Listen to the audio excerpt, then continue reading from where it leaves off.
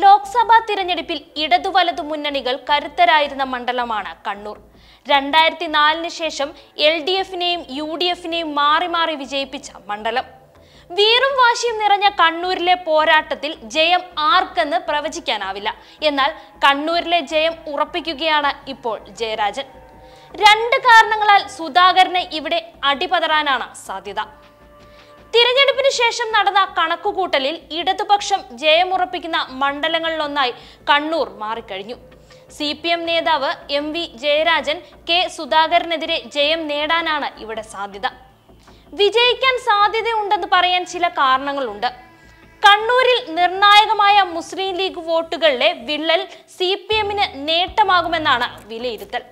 സമസ്തയുടെ ശക്തി കേന്ദ്രം കൂടിയായ കണ്ണൂരിൽ അവരുടെ വോട്ടുകൾ പൂർണമായും ലഭിച്ചിട്ടുണ്ടെന്നും ഇത് ലീഗിന്റെ വോട്ടുകളിൽ ഗണ്യമായ ഇടിവുണ്ടാക്കിയെന്നുമാണ് സി പി എം കരുതുന്നത്. വോട്ടെടുപ്പിന് തൊട്ടു പിന്നാലെ ജയരാജൻ സമസ്ത കേരള ജമായത്തുൽ ഉൽമയുടെ ഉന്നത നേതാവായ ഉമർ ഫൈസി മുക്കത്തെ സന്ദർശിച്ച് നന്ദി അറിയിച്ചിരുന്നു. സമസ്തയും മുസ്ലിം ലീഗുമായുള്ള ഭിന്നത തിരഞ്ഞെടുപ്പിന് മുൻപ് വലിയ രീതിയിൽ ചർച്ചയായിരുന്നു. ഇത് മുസ്ലിം ലീഗ് വോട്ടുകളിൽ വിള്ളലുണ്ടാക്കിയെന്ന വിലയിരുത്തലുമുണ്ട്. മുസ്ലിം ലീഗിന് സ്വാധീനമുള്ളിടത്തെല്ലാം കഴിഞ്ഞ തിരഞ്ഞെടുപ്പിലെ വോട്ട് അവർക്ക് കിട്ടില്ലെന്ന് ഉറപ്പാണ്. മലപ്പുറത്തും കാസർഗോഡുമെല്ലാം ലീഗ് സമസ്ത തർക്കത്തിന്റെ അലയൊളികൾ ഉണ്ടായേക്കാം. യു ഡി എഫ് സ്വാധീന നിയമസഭാ മണ്ഡലങ്ങളിൽ വോട്ടിംഗ് ശതമാനത്തിലെ ഗണ്യമായ കുറവും എൽ ഡി എഫ് ശക്തി കേന്ദ്രങ്ങളിൽ വോട്ടിംഗിലുണ്ടായ വർധനയുമാണ്. ജയരാജൻ ജയിക്കുമെന്ന വിലയിരുത്തലിന് മറ്റൊരു കാരണം. ഇരിക്കൂറും പേരാവൂരും കണ്ണൂരും രണ്ടായിരത്തി പത്തൊൻപതിലെ തിരഞ്ഞെടുപ്പിനെ അപേക്ഷിച്ച് വോട്ടിംഗ് ശതമാനം കുറഞ്ഞു. എന്നാൽ തളിപ്പറമ്പ് ധർമ്മടം മട്ടന്നൂർ എന്നിവിടങ്ങളിൽ മികച്ച പോളിംഗാണ് നടന്നത്. അഴീക്കോടും വോട്ടർമാർക്ക് വോട്ട് ചെയ്യാൻ മടിയുണ്ടായില്ല.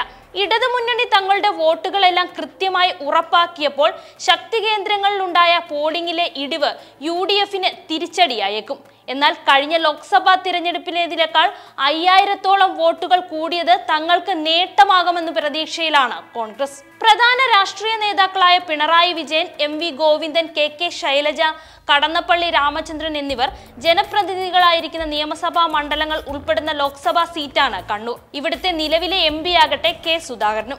അതുകൊണ്ട് തന്നെ കണ്ണൂർ ലോക്സഭാ തിരഞ്ഞെടുപ്പ് സംസ്ഥാനത്തിന്റെ ശ്രദ്ധാകേന്ദ്രമാണ് രണ്ടായിരത്തി ഇരുപത്തി ഒന്നിലെ നിയമസഭാ തിരഞ്ഞെടുപ്പിലെ കണക്കുകൾ പരിശോധിച്ചാൽ ഏഴിൽ അഞ്ചും ഇടതുപക്ഷത്തിനൊപ്പമാണ്. ലോക്സഭാ തിരഞ്ഞെടുപ്പിലെയും നിയമസഭാ തിരഞ്ഞെടുപ്പിലെയും സാഹചര്യങ്ങൾ തീർത്തും വ്യത്യസ്തമായതുകൊണ്ട് ആ കണക്കിൽ എൽ ഡി എഫിന് ആശ്വസിക്കാൻ കഴിയുകയില്ല.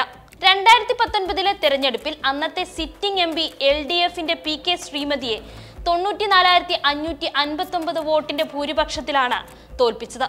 സുധാകരന് അഞ്ച് ലക്ഷത്തി ഇരുപത്തി ഒമ്പതിനായിരത്തി എഴുന്നൂറ്റി നാൽപ്പത്തി ഒന്ന് വോട്ടുകൾ ലഭിച്ചപ്പോൾ ശ്രീമതിക്ക് കിട്ടിയത് നാല് ലക്ഷത്തി മുപ്പത്തി അയ്യായിരത്തി ഒരുന്നൂറ്റി എൺപത്തിരണ്ട് വോട്ടുകൾ. മൂന്നാമതെത്തിയ ബി ജെ പിയുടെ സി കെ പത്മനാഭൻ അറുപത്തി എണ്ണായിരത്തി അഞ്ഞൂറ്റി ഒൻപത് വോട്ടുകളും നേടി. നൂറ്റി തൊണ്ണൂറ്റി ഒൻപതിൽ തുടർച്ചയായി ആറാം ജയം നേടിയിറങ്ങിയ മുല്ലപ്പള്ളിയെ അന്നത്തെ സി പി എം യുവനേതാവ് എം വി അബ്ദുള്ളക്കുട്ടി അട്ടിമറിച്ചു. പതിനായിരത്തി ഇരുന്നൂറ്റി നാൽപ്പത്തിയേഴ് വോട്ടുകളായിരുന്നു മുല്ലപ്പള്ളി രാമചന്ദ്രൻ എം വി അബ്ദുള്ളക്കുട്ടിയോട് പരാജയപ്പെട്ടത്.